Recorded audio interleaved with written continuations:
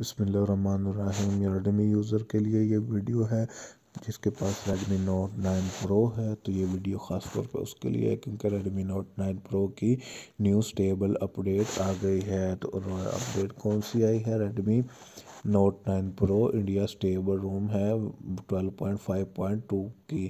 تو یہ اپڈیٹ آ گئی ہے، اس کو ڈاؤن لوڈ کیسے کریں گے اور انسٹال کرے کیسے کریں گے، وہ میں آپ کو اس ویڈیو میں بتاؤں گا۔ ویڈیو کو پورا دیکھیں، کوئی پارٹ سکپ نہیں کریں۔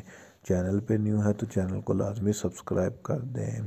میں آپ کا ہوسٹ عمران علی ویلکم کرتا ہوں ٹیکنیکل ہنٹر یوٹیوب چینل میں۔ تو چلے فرینڈس ویڈیو شروع کرتے ہیں۔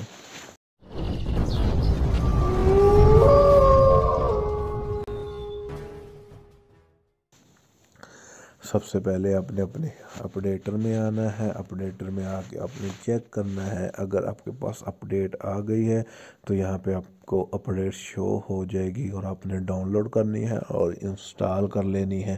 اگر آپ کے پاس اپڈیٹ نہیں آئی تو آپ لوگوں نے گھبرانا نہیں ہے۔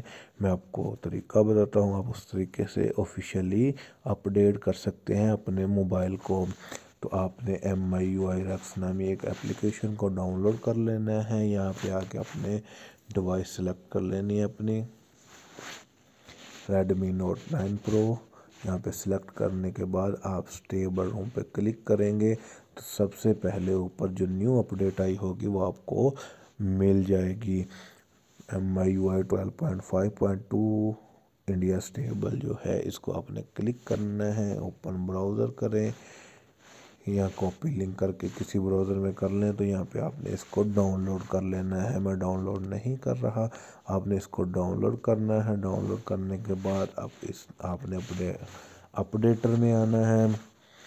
اپڈیٹر میں آنے کے بعد اوپر تین ڈاٹ ہیں۔ یہاں پہ کلک کریں اور چوز پیکر پہ کلک کرنے کے پیکج پہ کلک کرنے کے بعد آپ نے یہاں پہ جو اپڈیٹ ڈاؤن لوڈ ہوئی ہے اس کو اوکے کرنا ہے سلیکٹ کرنے کے بعد اوکے کر دینا ہے تو آپ کا موبائل آفیشیلی طریقے سے اپڈیٹ ہو جائے گا۔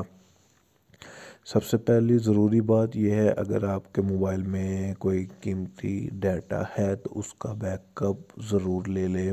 اور آپ کے موبائل کی جو بیٹری ہے وہ پچاس پرسنٹ سے زیادہ ہونی چاہیے۔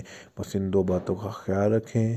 یہ طریقہ بالکل جینین طریقہ ہے رنمنگ کا طریقہ ہے، اس میں کوئی کسی قسم کی پرابلم نہیں ہے۔ تو امید ہے دوستوں ویڈیو پسند آئی ہوگی۔ اگر پسند آئی ہے تو لائک کریں شیئر کریں سبسکرائب کریں میرے چینل کو۔ دعاؤں میں آ رکھیے گا۔ اللہ حافظ۔